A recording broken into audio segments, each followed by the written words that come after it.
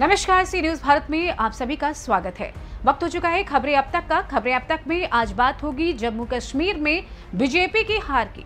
हरियाणा में आम आदमी पार्टी के डूबी लुटिया की और यूपी में महिलाओं पर बढ़ते अपराधों की। इसके अलावा और खबरों पर भी नज़र डालेंगे जो बनी रही सुर्खियाँ, लेकिन उससे पहले हेडलाइंस पर एक नज़र डाल लेते हैं।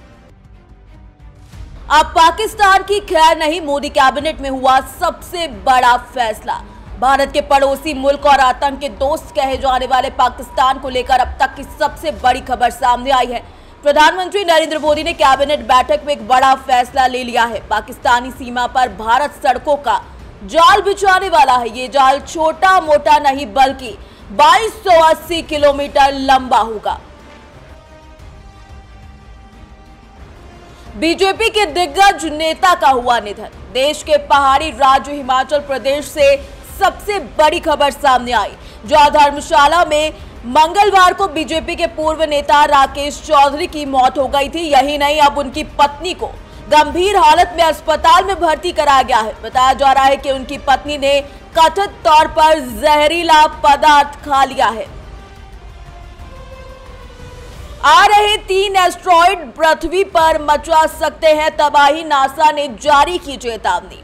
आसमान से धरती पर तबाही मच सकती है। जी हाँ जिसे लेकर अलर्ट जारी किया गया है। आसमान में धरती की ओर से एक साथ तीन एस्ट्रॉयड आ रहे हैं। ये एस्ट्रॉयड की स्पीड तकरीबन बत्तीस हज़ार किलोमीटर बताई जा रही है। अमेरिकी अंतरिक्ष एजेंसी नासा ने इस बारे में एक चेतावनी भी जारी की है। एमपीसी की बैठक के बाद यूपीआई में बड़ा बदलाव। भारतीय रिज़र्व बैंक के गवर्नर शशिकांत दास ने आज यूपीआई 123 पे के लिए लेन देन की सीमा पाँच हज़ार रुपए से बढ़ाकर दस हज़ार रुपए और यूपीआई लाइट वॉलेट की सीमा को दो हज़ार रुपए से बढ़ाकर पाँच हज़ार रुपए करने की घोषणा की है। बाज़ार आखिरी सत्र में फिसला, सेंसेक्स, निफ्टी गिरावट के साथ बंद। बुधवार को तीस शेयरों वाला बेंचमार्क सूचकांक, बीएसई सेंसेक्स एक सौ सड़सठ अंक टूटकर इक्यासी पर बंद हुआ। दूसरे और निफ्टी तकरीबन इकतीस अंक गिरकर चौबीस हज़ार नौ सौ इक्यासी पर बंद हुआ। हेडलाइंस के बाद आगे बढ़े। उससे पहले आज की वायरल वीडियो से आपको रूबरू करवा देते हैं। आप तक करोगे पर्चे पर्चे नहीं आप तक करोगे नहीं आप तक करोगे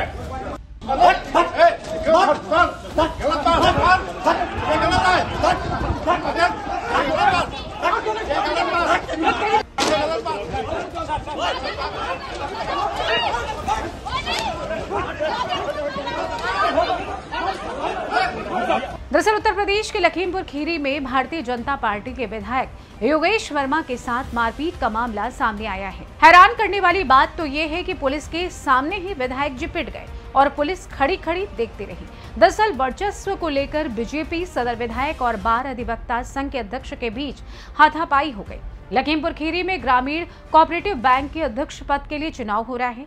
इस बीच जिला बाढ़ संघ के अध्यक्ष अवधेश सिंह और बीजेपी सदर विधायक योगेश वर्मा के बीच हाथापाई शुरू हो गई। दोनों पक्ष आमने सामने आ गए। मारपीट का वीडियो सोशल मीडिया पर भी जमकर वायरल हो रहा है। वहीं पुलिस कर्मियों ने बीच बचाव कर दोनों लोगों को अलग किया। वहीं तनावपूर्ण माहौल देखते हुए पुलिस फोर्स तैनात कर दिया गया है। इसके अलावा चलिए रुक करते हैं हमारी खास रिपोर्ट की ओर। कल हरियाणा में बीजेपी की जीत हुई तो जम्मू कश्मीर में हार भी हुई। ऐसे में सवाल उठ रहा है कि इस हार का क्या खामियाजा बीजेपी को भुगतना होगा? तो आपको बता दें कि अब जम्मू कश्मीर, इस बीजेपी की हार का सबसे बड़ा नुकसान उसके राजनीतिक प्रभाव पर पड़ेगा। जम्मू कश्मीर में विधानसभा की सीटों की कमी से पार्टी की क्षेत्रीय नीतियों को लागू करना मुश्किल हो जाएगा। इससे जम्मू कश्मीर में क्षेत्रीय दलों को आगे बढ़ने का मौका मिलेगा और वे सरकार गठन में महत्वपूर्ण भूमिका निभा सकते हैं। वहीं बीजेपी की हार से राज्य में धार्मिक और क्षेत्रीय ध्रुवीकरण की स्थिति भी बदल सकती है। पार्टी ने अक्सर हिंदू बाहुल्य क्षेत्रों में अपनी पकड़ को मज़बूत किया था, लेकिन अब इसे मुस्लिम बाहुल्य और अन्य क्षेत्रीय मतदाताओं के साथ तालमेल बिठाने की ज़रूरत पड़ेगी। इससे बीजेपी की राष्ट्रीय राजनीति पर भी असर पड़ सकता है, क्योंकि ये संदेश जाएगा कि पार्टी का धार्मिक ध्रुवीकरण का एजेंडा इस क्षेत्र में विफल हो गया है। इतना ही नहीं बीजेपी ने जम्मू कश्मीर में विकास कार्यों पर विशेष ज़ोर दिया था, जिसमें आधारभूत संरचना का निर्माण, निवेश को बढ़ावा देना और पर्यटकों को आकर्षित करना शामिल था। इस हार के बाद इन विकास कार्यों की गति धीमी हो सकती है, क्योंकि नई सरकार की प्राथमिकताएँ भिन्न हो सकती हैं। और सबसे बड़ी बात तो ये है कि जम्मू कश्मीर में बीजेपी की हार का राष्ट्रीय स्तर पर भी बड़ा संदेश जाएगा। ये हार आगामी चुनाव के लिए पार्टी के प्रदर्शन और रणनीतियों पर पुनर्विचार का संकेत हो सकती है। पार्टी को देश के अन्य राज्यों में भी अपने समर्थन आधार को मज़बूत करने की आवश्यकता होगी, जहाँ पर विपक्ष की चुनौती बढ़ती दिख रही है।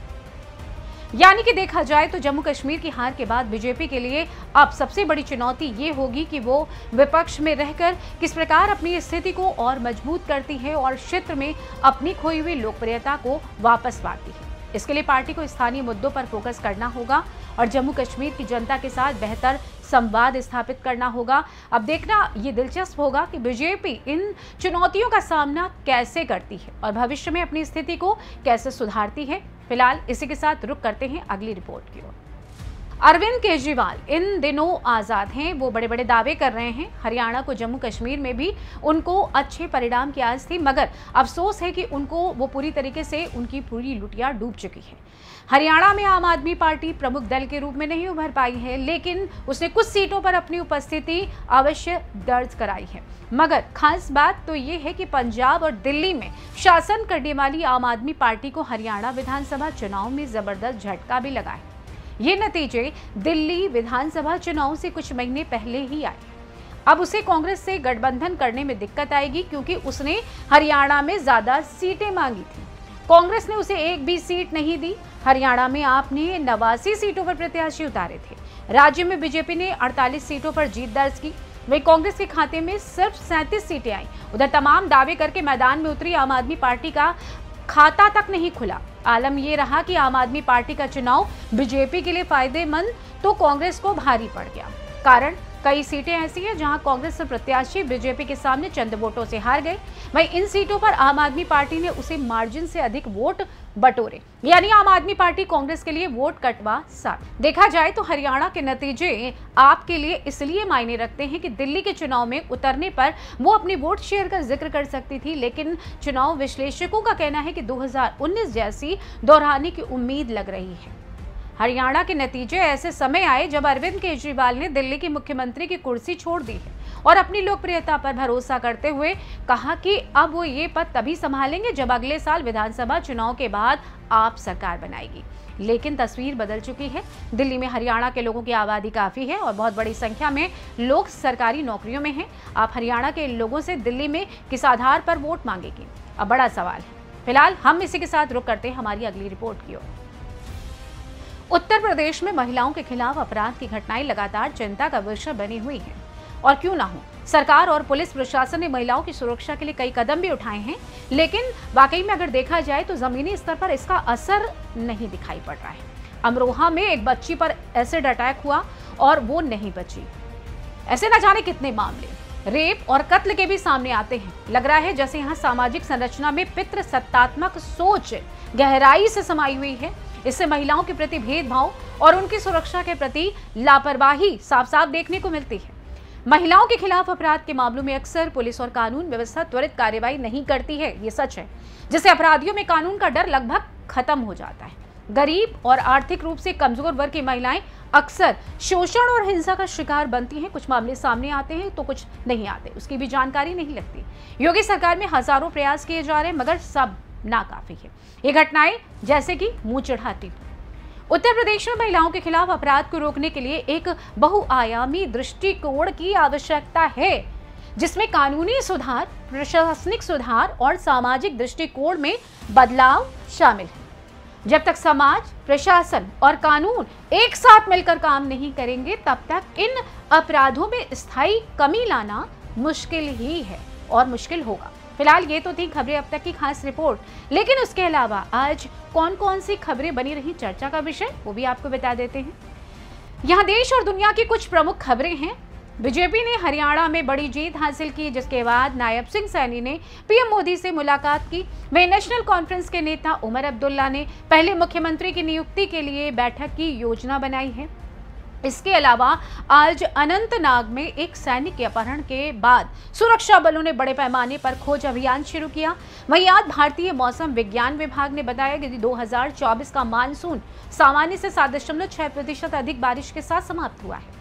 इसके अलावा आज यूक्रेन के राष्ट्रपति जेलेंस्की ने कहा कि उनकी सेना ने प्रमुख मोर्चों पर प्रगति की है, जबकि रूस ने जवाबी हमलों की योजना बनाई है। वहीं हरियाणा में हार के बाद कांग्रेस ने अपनी चुनावी रणनीति को पुनर्निर्धारित करने का फैसला किया इसके अलावा आज ही हरियाणा में विधानसभा चुनाव में हारने के बाद यूपी में समाजवादी पार्टी ने कांग्रेस को बड़ा झटका दिया है। यूपी में होने वाले उपचुनाव से पहले समाजवादी पार्टी ने 10 विधानसभा सीटों में से छह पर उम्मीदवार घोषित कर दिए हैं।